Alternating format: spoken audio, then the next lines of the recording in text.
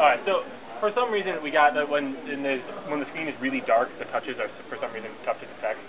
So as the screen lights up, it becomes more. I don't care why that is. Uh, I'm not sure, but the the, The backlight maybe provides just enough infrared light. transmissive if the screen is if, if there's more bright if there's more light. Yeah. That, that's that's a neat infrared light. but now it's not because it's not there anymore. You guys wouldn't happen to be here tomorrow. We will be there tomorrow. Yeah? I okay, I gotta bring my kids by to working see better this. tomorrow even. Absolutely. Yeah, it will be better. Where's the sound, That's cool. The kids Hopefully we'll have more it. lasers working tomorrow.